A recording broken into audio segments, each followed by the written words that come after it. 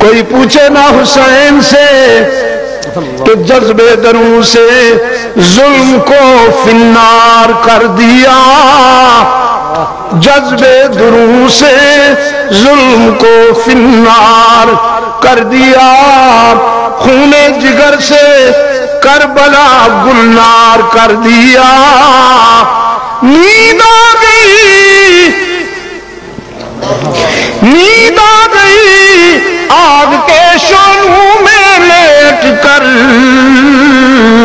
خود سو گیا، حیات کو بیدار کر دیا۔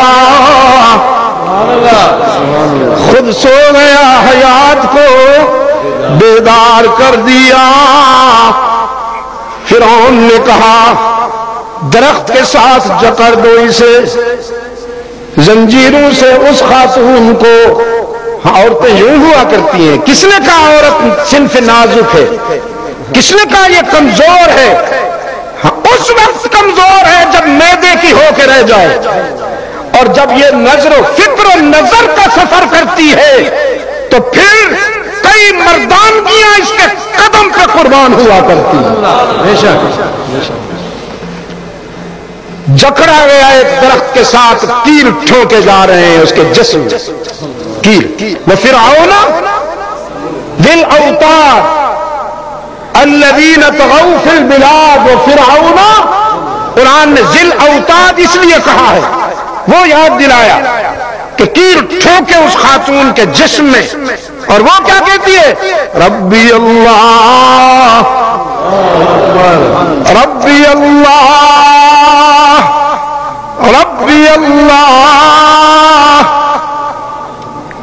فرعون کے اہلکار تبصرہ کرتے ہیں، خسر خسر کرتے ہیں۔ ظلم جتنا زیادہ ہو رہا ہے، اس کا عشق مست ہو رہا ہے، یہ ابھی گھبرائی نہیں۔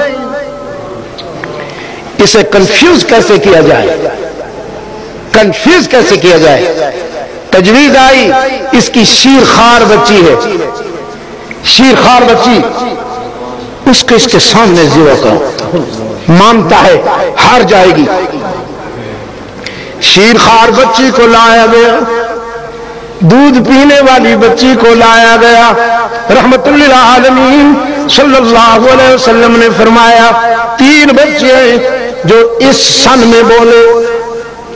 ایک عیسیٰ اپنی والدہ کی تقدیس پر بولا۔ ایک عزیز مصر کا بچہ، گھر کا بچہ جو سیدہ، جو سیدنا یوسف کی تقدیس پر بولا اور ایک یہ بیٹی جو اپنی ماں کو ہمت دلاتے ہوئے کہتی ہے، یا اماں اس بری اس بری یا اماں لا تجزائی فإن اللہ بنا لنا بیتن فی الجنہ۔ ماں گھبرانا نہیں، یہ دنیا کا ٹھکانہ تو ہار دیے میں اپنی معصوم آنکھوں سے جنت میں اپنا گھر دیکھ رہی ہوں۔ رحمت عالم صلی اللہ علیہ وسلم نے فرمایا، اللہ نے اس معصوم کی لاج رکھی۔ اس کی دوسری بہن بھی، وہ بھی اس کی ماں بھی ان تینوں کے آنکھوں سے دنیا ہٹا دی گئی، جنت سامنے لائی گئی۔ فرعون نے تینوں کو کیل ٹھوک ٹھوک کے مار ڈالا، قتل کر دیا۔ لیکن قتل کے بعد قاتل شرمندہ ہوا، مقتول سربلند ہوا۔ مقتول کا چہرہ چمک اٹھا، قاتل کا منہ کالا ہوا۔ یہ رشتے کیا ہوتے ہیں؟ اس کو مستی کے سفر میں یہ رشتے کیا ہوتے ہیں؟ انہیں تو اقبال بتان وہم و گما کہتا ہے۔